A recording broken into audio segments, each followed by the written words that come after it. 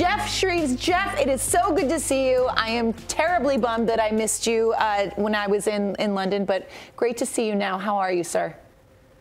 I'm good. I'm good. I know you had a good weekend. Well, let's put it this way: you had a lot better day at Wembley on Sunday than your poor husband Ian did at the Emirates on the Saturday night, didn't they? Oh my Newcastle goodness. fans was yeah. no, well, that would have been a quiet dinner on Saturday night, I'm sure. It- but it uh, was. great day. We but you got it over the line experience. eventually. We did. yeah, we did. Exactly. I, yeah, the Sunday definitely made up for it, Jeff. That's for certain. um, all right, let's chat on this Manchester derby. Uh, the consensus here at the desk is that uh, United really uh, don't have much of a chance in this one. I'm very curious to get your thoughts on this matchup. Yeah, you would have thought so. You think of their, their problems of late, although their form isn't bad. Won seven out of the last nine. Uh, huge defensive problems. They've got Højlund missing as well. And they just don't seem right, do they? I mean, I know I'm like a broken record. Every time I come on here, I say, I'm just not convinced by Manchester United. I'm sorry. I'm not I'm not convinced by them. However, it's a derby, and we know anything can happen in a derby. Manchester United have taken more points than other Premier League side at the Etihad. Won four, won four games there. So they've got a puncher's chance. You never know, but it, it's the style, isn't it? Because the way that Manchester United play, it's very much on the counter attack. They're hoping to spring a surprise on City. And I just think that City can handle it, no problem whatsoever. They're so used to teams playing like that against them, a low block and then triggering a lightning transition. I, I can't see it happening, but I just think you'd be wrong to say it's an impossibility mm-hmm. because you never ever know. And it could be, it could be a result for United that kickstarts their season. But you know, look at look at last season: six three hat tricks for Foden and for Haaland. They absolutely battered them. And to be honest with you, it could have been more. So United fans, I think, will go there full of hope, but also a certain amount of fear as well, a certain amount of dread. Jeff, I think we all agree at this desk if they have any chance of uh, winning, it's going to be on that counter, or any chance really in this game. And that's going to have to come from one Marcus Rashford, who recently released an article on Players Tribune, sort of responding back to his critics and the media a little bit. You're there, you know the media landscape in England. How is this being portrayed? And do you think this is adding more pressure to Marcus Rashford's pretty rough season, or do you think this is starting to relieve it? Well, there's no question, is there, Alexis? He's not having a great season, but you'd have to say neither is anybody at Manchester United. There's very few players right now. Okay, Højlund of late, but didn't have a great start. Harry Maguire out injured, but after a rocky start, is doing well once again. There's nobody, there is nobody in that Manchester United squad right now absolutely covering themselves with glory. You get a few coming in every now and again doing okay.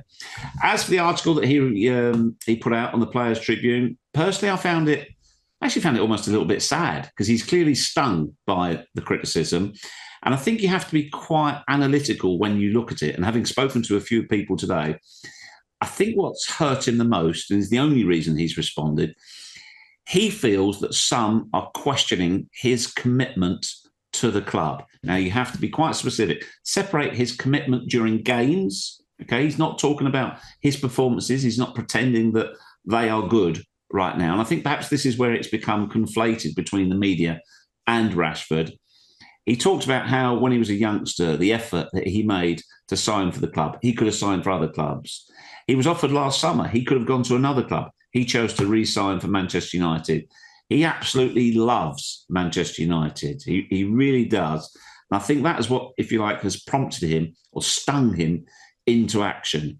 As for his performances right now, and he's been criticised, uh, and his body language, I think that is what has been questioned the effort that's being put into games by Rashford himself. He is playing out of position, which doesn't help him, but still, you've got to always give maximum effort. He just, it, to me personally, for what I don't know what the reason is, maybe it's everywhere across the pitch. He just doesn't look quite right. He doesn't look happy. And as we all know, that's a you know a consequence of poor results. Nobody's happy in that team right now.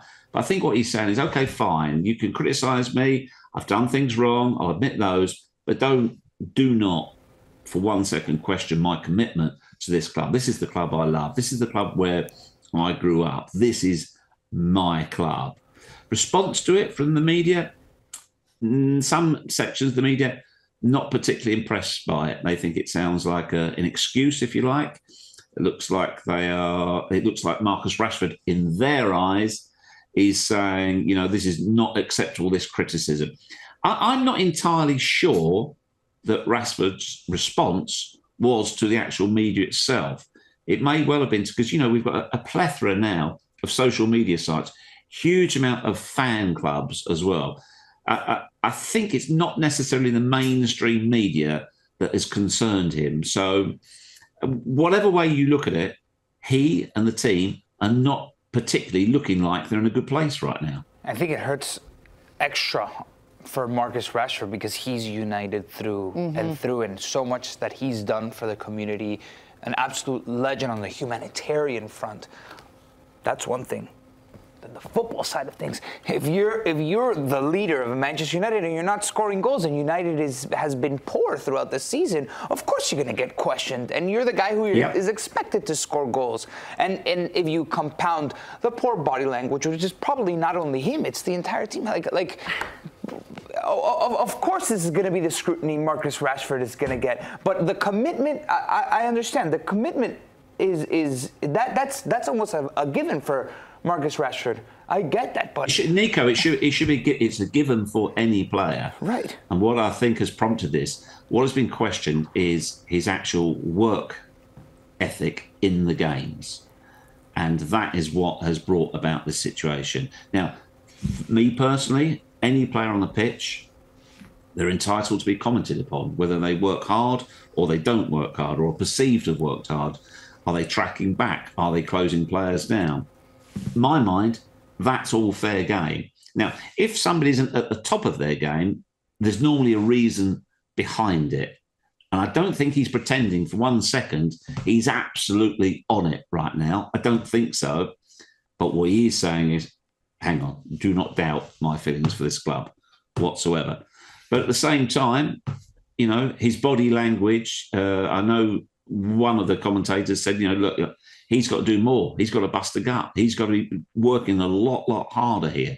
You can't just be throwing your arms up in the air. And that's been said about Fernandes as well in frustration. That's not good body language. So it may well be that because he's hurting right now, he's perhaps more vulnerable to those comments. Don't know. But once again, as we always say, you imagine if they win at the Etihad on Sunday and Rashford gets the winner oh, or wow. certainly plays a part in it all this changes.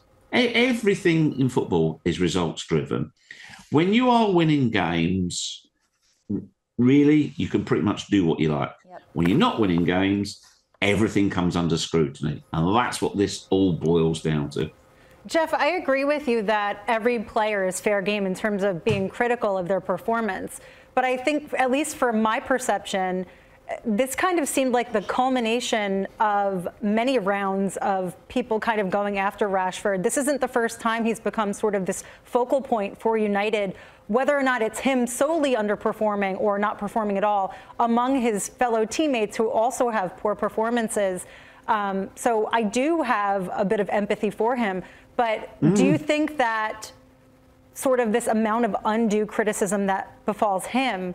is because he's sort of this talisman of United, or if it's just sort of a lot of excess vitriol from the internet? Uh, I think it might be a bit of both, Christine. Don't forget, he, you know, he's a huge star. He's a huge star. He's an England player as well in England, so that focuses the attention as well. The fact that he's a striker as well, that means you get more attention than you do maybe as a a left back or a right back, you, are definitely going to get more attention. But don't forget, Harry Maguire had this earlier in the season. But I think what Marcus Rashford's point is in the article, okay, let's say, although he doesn't talk about Harry Maguire, Maguire was criticised for his play, for the way he plays and what he does. Rashford said, I get criticised for my car, my jewellery, for my tattoos. It's just relentless. It is just relentless. Now, there are many, many media outlets who don't mention any of those things whatsoever, and they talk about purely his playing. So I, I agree with you to an extent that he is highlighted, but that is because he's one of the biggest stars, and also for what he did in the pandemic, the, the incredible efforts he made to help feed hungry children which he was awarded an honour for, that brought him even more to the nation's attention as well. And it, it I mean, it's sad that something that he did that was so positive could elevate his profile so high, whereby he becomes so relevant. So it, it's a it's a difficult situation in many ways. But I go back to what I'm saying is that it's because of his status, it's because of where he is, and also because he's not playing well right now, in my opinion, for whatever reason.